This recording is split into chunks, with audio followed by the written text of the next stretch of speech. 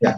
So uh, definitely Dr. KP Chandra has already talked about the physiology, uh, the basic problem with obesity and how obesity is still underrated. So I'm going to talk about physiology of weight regulation, what are the etiopathogenesis and the benefit of weight loss and what is the concept of weight regain.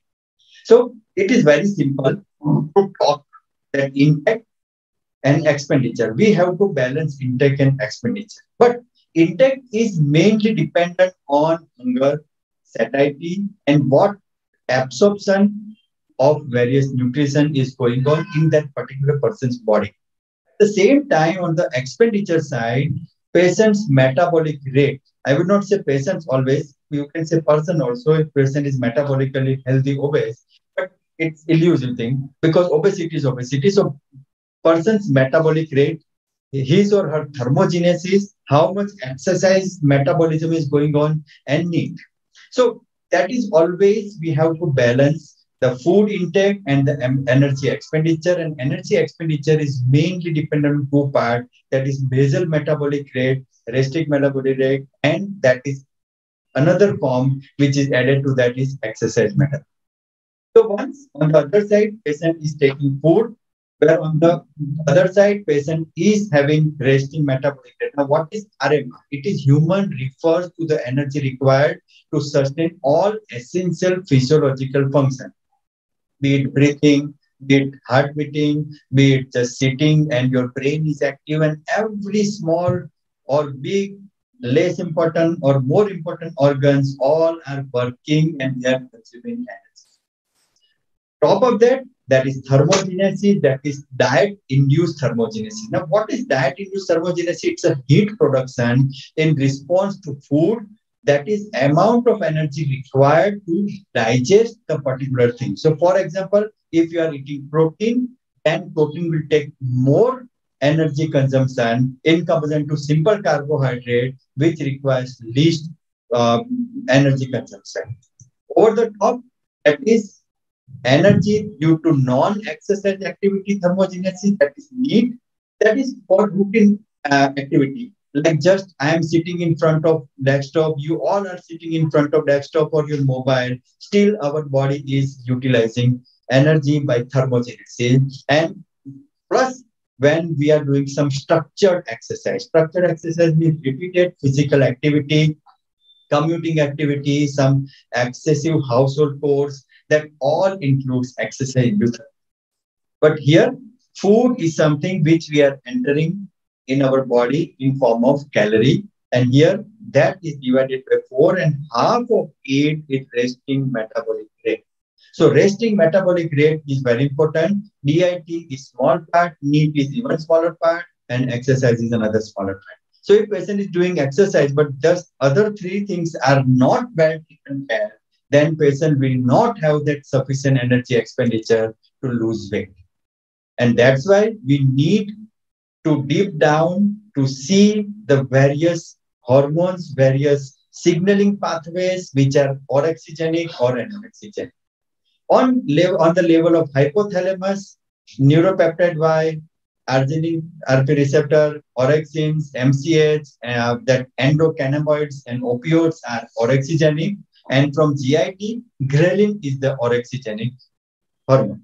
On the other side, leptin, insulin, amylin, polypeptide, and that is PP, and along with that CCK, GLP-1, PYY, oxyntomodulin, enterostatin, bombesin, and uroguanylin all are peripheral anorexigenic um, signaling pathways. But in center, POMC TRH, CRH, oxytocin, serotonin, and histamine are the important. So when patient is eating, patient is having some appetite, patient is having some peripheral signaling pathway to modulate appetite. And for that, hypothalamus is having arcuate nucleus where POMC and NPY, these two are uh, major part well, POMC give rise to appetogenic signal or anorexic signal by given by this NPY arginine Now, PYY, PP, GLP-1, oxyntomodulin, all are satiety peptide which will stimulate POC, POMC and that will give negative feedback to NPY uh, while ghrelin will stimulate the negative pathway or, or orexigenic pathway. And leptin and insulin are having adiposity signals. And but here I would say insulin and leptin are a bit different than simple orexigenic and anorexigenic pathway. That leptin as such is anorexigenic, but leptin resistance produces adiposity. Insulin is anorexigenic, but insulin again produces adiposity. So these two hormones are very vital from periphery, which also gives some central signals and they are also stimulating this anorexigenic pathway and inhibiting anorex, uh, I mean, orexigenic pathway to have satiety, to increase appetite, or uh, to decrease appetite, or to hunger, to increase appetite. And along with that, there is one center in the brainstem that is nucleus tractus solitarius and area postrema, where the role of vagal efferents as well as amylin and GLP-1 is having some role. Recently, we have semaglutide, which is having action on this area postrema, and amylin is also have found to have action on area postrema. So by now we were concentrating only more on this part, but now we also come to know that these are the another area of brainstem which is also contributing to this. And this all orexigenic and anorexigenic signaling pathways are also having some action on nucleus tractus solitarius and area postrema. So this is very important that by doing this, we have a change in the feeding pattern, gastric emptying, as well as metabolic rate and both are interconnected with so if brain has to control it will control through homeostatic eating so patient will eat for hunger so if there is hunger patient will eat if patient is satiety uh, having satiety patient will not eat and for that these are the basic signaling pathway hedonic eating means eating for pleasure just patient is eating because his brain or her brain is stimulating that it is something good which I like, eating, even if it is not required.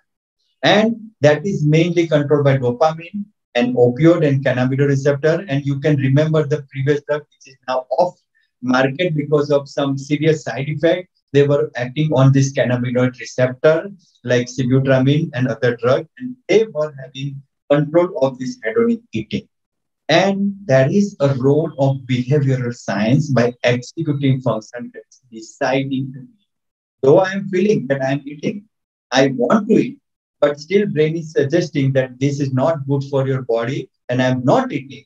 That is called behavioral science and that depends on thoughts, feelings, and the change in the behavior. And that is the role of behavioral interventions. And that's why not only diet, not only medicine, not only exercise works, but behavioral interventions are also very important.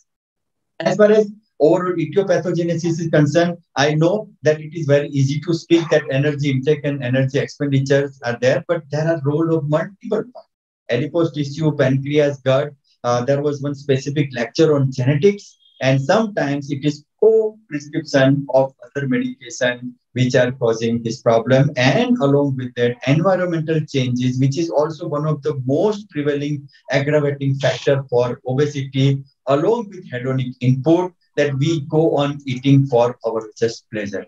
So genetics are high heritability for body weight. There are families who are having obesity as a part, and their genes are in hypothalamus, leptin, melanocortin pathway. I think genetics, there was one specific lecture, so I will not go down, but you can see is CNS expression of hypothalamic control of energy intake. There are 97 loci which are regulating total BMI. And for genes for fat distribution, there are 49 loci which are controlling expression of adipose tissue. And these are associated with obesity. And you can see there are more than 100 genes and genetic loci are associated with obesity. But at the same time, much more important role is going on with our environment, where socio-cultural factors, traditions, beliefs, peer pressure. I will say peer pressure and socio-economic factors are one of the most important pathway driving this pandemic of obesity. And food environment, availability of inexpensive, highly palatable food is also one of the contributing factors. As far as complications are concerned, I think Dr. K.P. Chandra has already elucidated the metabolic problem, multiple cancers, diabetes, thrombosis, gout, and CVD risk factor increment, mechanical in form of incontinence, arthritis, sleep apnea, and chronic back pain, and mental, that is depression and anxiety, which are coding. So we need to control weight, we need to reduce obesity. Then what are the benefit of reducing weight? if person is losing weight by 5 to 10% every time we are talking about drugs just there was one lecture on medical nutrition therapy there was one lecture on medications in obesity each and every medication were accepted for anti-obesity medicine only if they show reduction of weight by 5 to 10% why because if you reduce weight by 5 to 10 percentage, there is reduction in risk of type 2 diabetes, reduction in CV mortality, there is improvement in lipid profile, reduction in blood pressure, especially systolic BP, reduction in OSA symptoms, and health-related change and improvement in quality of life. And you can see that if you now there is a time we are talking about diabetes remission though it is uh, wrongly called as reversal, it is nothing like reversal. It's more of a remission, that is pharmacological remission, which we can achieve if we achieve 10 to 15% of weight loss. And if we achieve more than 15% like bariatric surgery, you will get the maximum benefit. Dyslipidemia, hypertension, NAFLD all needs around 10 to 15% of weight loss.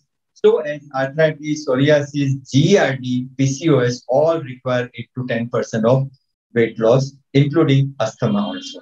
So this suggests that the basic weight loss we should aiming is more than 5% and possibly more than 10%, then we can reduce weight related complications. But the other side of this truth is the fact that we can reduce this significantly. We can have patients achieving this magic figure of more than 10% of weight loss with either medication, with medical nutrition therapy, bariatric surgery, many other options. But to sustain it, it's very difficult. You can see this number of studies. Every time when patient was in studies, they were losing. But as soon as study was over, actually they end up after four or five years to a higher level than what they started. And that is the problem with all these studies. So factor reducing, I mean, there are reducing energy expenditure, fat oxidation, thyroid hormone reduction, increase in cortisol, that all will cause increased energy storage. On the other side, there are factors which will have uh, various signaling pathway, which will increase food intake. And that happens after diet-induced weight loss. So these are limiting the benefit of weight loss due to diet or even sometimes with structural exercise after some time. That is called metabolic adaptation. Adaptation that resists weight loss is due to hormonal changes, decrease in satiety hormone and increase in hunger hormone because body want to reach to that set point and reduction in overall energy expenditure. This is one study uh, study done in 16 participants who had participated in biggest loser reality show where they have been there for 30 weeks and they were followed for next six years and the inclusion criteria was they have significant weight loss during biggest research study and we were seeing for the primary objective of resting energy expenditure metabolic adaptation calculated as per the difference between the measured RRE and what were the result. Body weight reduced by 58 kg during this bigger uh, biggest losing study or maybe a show they regained 41 kg in next six years Resting metabolic rate, which was reduced by 610 kilocalorie per day, which was almost plateaued and reduced for longer period of time. And the metabolic mm-hmm. adaptation was almost 499 kilocalorie per day. So exactly it is regaining to the primary level. So energy balance is regulated by the body and specifically brain through various sources of input that depends on energy intake, energy expenditure, including adipose tissue, pancreas, gut, genetics and medication, and environment. Brain is one of the vital organ to control all these things. And it controls homeostatic eating, hedonic eating, and execution of function. And that's why behavioral change is also very important part. And adaptation to the resistance to the weight loss are very important thing and a challenging thing during the journey of an obesity patient to losing weight and to reaching to a plateau and then maintaining rather than uh, regaining that. So thank you.